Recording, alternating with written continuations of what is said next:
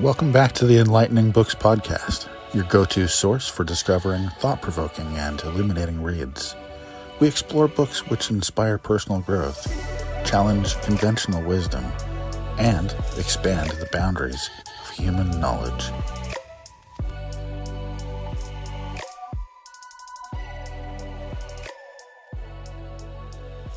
Imagine this merging ancient Luciferian philosophy with modern therapy. Whoa. That's the unexpected journey we're taking in this deep dive with Aaron Perlman's book, Shadowlight. okay.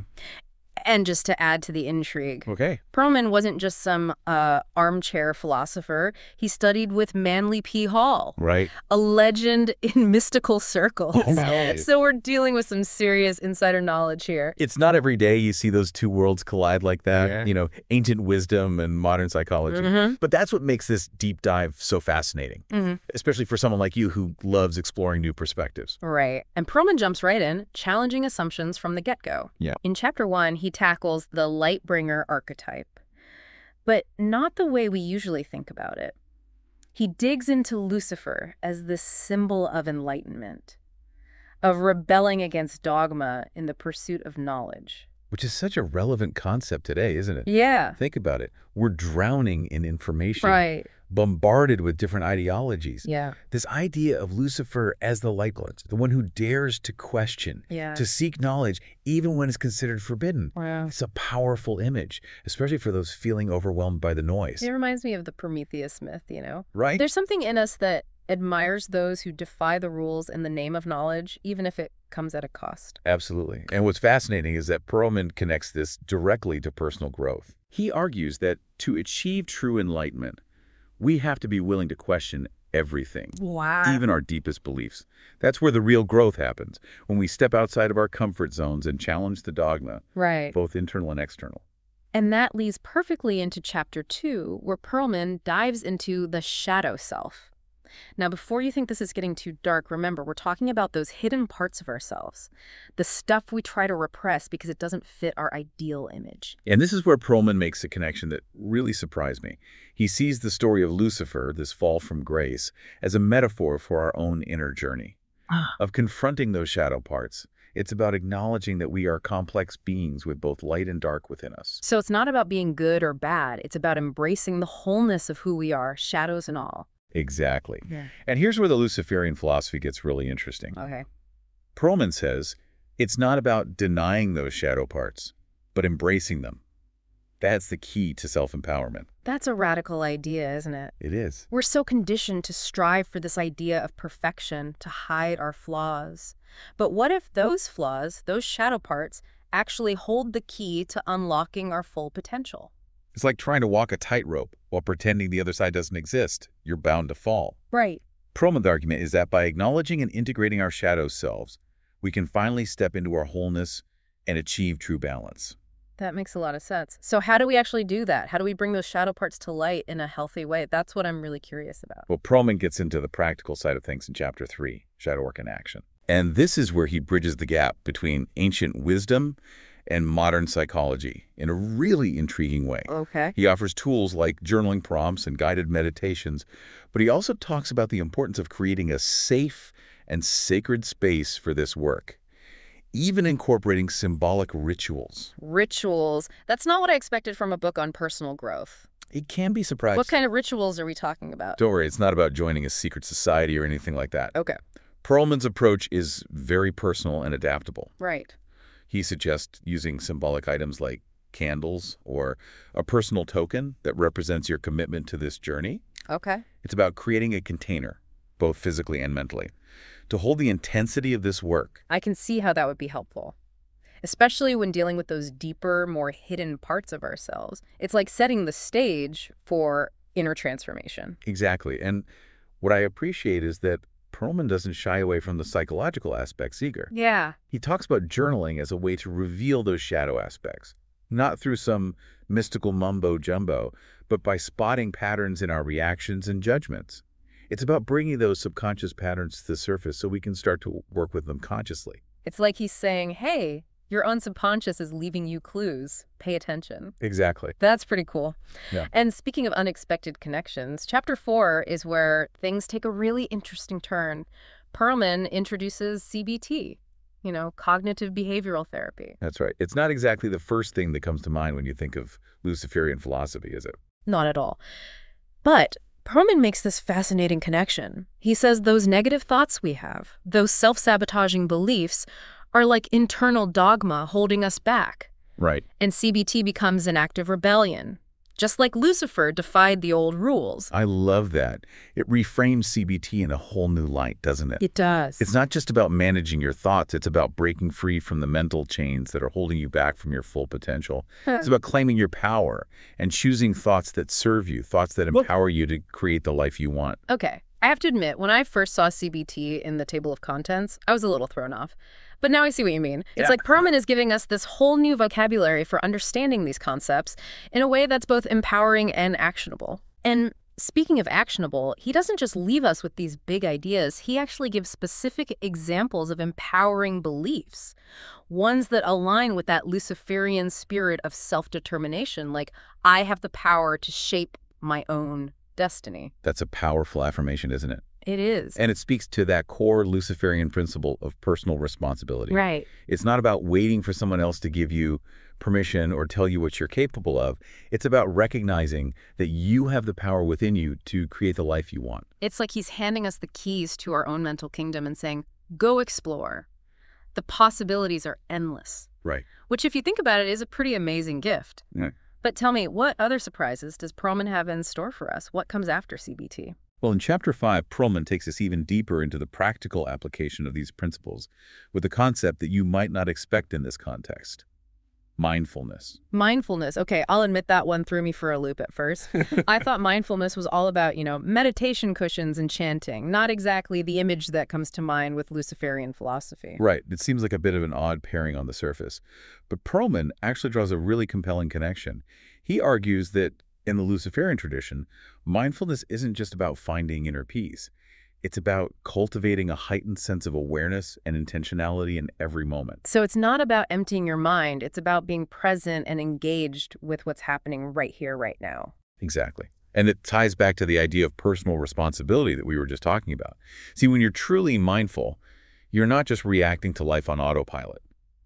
You're making conscious choices that align with your values and your goals. It's like you're saying, okay, shadow self, I see you, I hear you, but I'm the one in the driver's seat now. I love that analogy because it really gets at the heart of what Perlman is trying to convey. It's about taking ownership of your thoughts, your emotions, your actions. Ah. And you can only do that when you're fully present and aware. And what's really interesting is that Perlman doesn't just talk about mindfulness in the abstract. He actually provides practical techniques that anyone can use in their daily life, things like breath work and mindful observation. And what I appreciate is that he emphasizes the importance of intentionality in these practices. Mm. It's not enough to just go through the motions. You have to approach them with a clear purpose, a desire to cultivate greater awareness and self-mastery. So it's like instead of just zoning out with a meditation app, you're actively choosing to engage with your inner world in a way that empowers you to make conscious choices. Exactly. And that's where the real transformation happens. Because when you're able to observe your thoughts and emotions without judgment, you create space for greater self-acceptance and growth. This is reminding me of something you said earlier about how Perlman bridges the gap between ancient wisdom and modern psychology. It's like he's taking these esoteric concepts and making them accessible and relevant to our everyday lives. Absolutely. And that's what makes his work so powerful. He's not just presenting a bunch of abstract ideas, he's giving you a roadmap for putting them into practice. Speaking of putting things into practice, I'm curious about Chapter 6, A Ritual for the Modern Seeker. The word ritual always piques my interest, but I have to admit I'm a little hesitant to ask because I don't want to give anything away for our listeners. I understand. It's one of those things that you have to experience for yourself to really grasp the full impact. But I can say that Perlman's approach to ritual is very personal and empowering. Okay, that's good to know because I think a lot of people hear the word ritual and they immediately think of something secretive or even spooky. Right. But it doesn't have to be that way at all. In this context, Perlman uses ritual as a way of marking a commitment to the journey of self-discovery and integration. So it's less about joining a secret society and more about creating a meaningful experience for yourself, a way of symbolizing your intention to do this work. Exactly. And the ritual he describes is surprisingly simple and adaptable. He suggests using elements like a mirror, candles, both black and white, to symbolize the integration of light and shadow, and a personal token that represents your commitment to this path. I love that imagery, the black and white candles representing the integration of light and shadow. It's like he's saying, embrace all of who you are, the good, the bad, the messy, the beautiful. It's all part of the journey. And that's such a powerful message, isn't it? Because so often we're told that we have to choose, that we have to be one way or the other.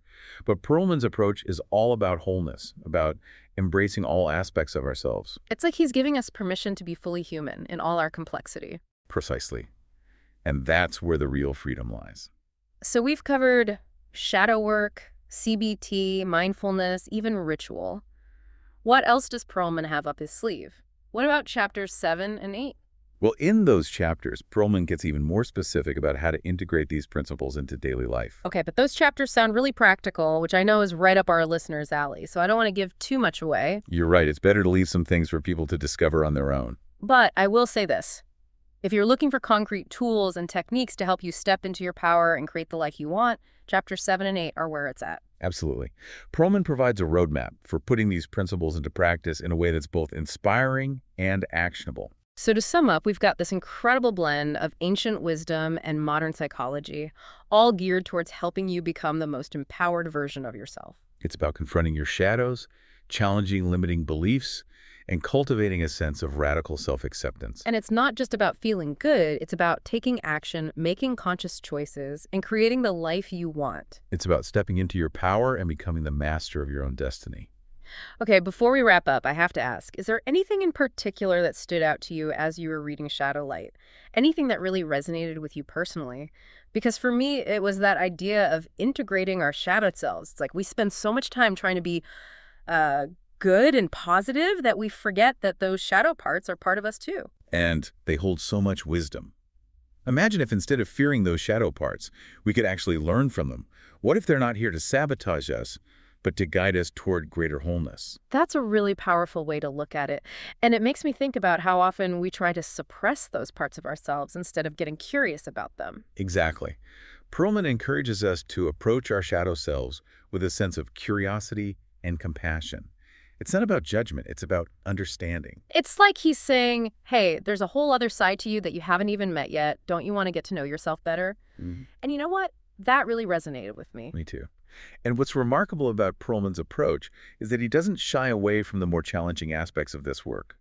He acknowledges that confronting your shadow can be uncomfortable, even painful at times. It's like cleaning out a really messy closet, right? You know you've got to do it, but it's not always going to be pretty. Exactly. Yeah. But just like cleaning out a closet, once you get rid of the clutter, you create space for something new. And that's what this journey is all about, creating space for growth, for transformation, for becoming the most authentic version of yourself. So if someone is listening to this right now thinking, okay, this all sounds great, but where do I even start? Hmm. What would you say to them? I'd say start with curiosity. What aspect of yourself have you been avoiding? What part of you makes you feel uncomfortable or ashamed? And then instead of pushing it away, try approaching it with a sense of openness and compassion. It's like, hey, shadow self, I see you. Let's have a conversation. Exactly. And remember, you don't have to do this work alone.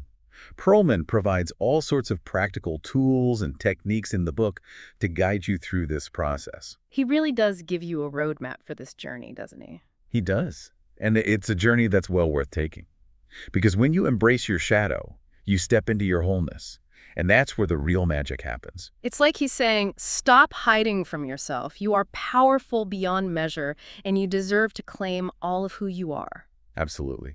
And that's a message that I think we all need to hear. Well, there you had it, folks. A deep dive into Shadowlight, a book that's challenged our assumptions, sparked our curiosity, and left us feeling inspired to embrace all aspects of ourselves. It's a powerful reminder that sometimes the greatest growth comes from exploring the darkest corners of our being. And on that note, we'll leave you with this final thought. What if the thing you've been resisting is actually the key to unlocking your full potential? Keep exploring, keep questioning, and most importantly, keep embracing the fullness of who you are. Until next time, happy diving.